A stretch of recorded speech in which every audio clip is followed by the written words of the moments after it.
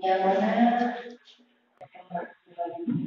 2019 ada 26 peserta yang mendaftar. Kemudian bila dan pada hari ini terpilih ke final. Tapi sebelumnya kita akan itu bacaan kita pada hari ini. Selanjutnya kita akan kami persilahkan.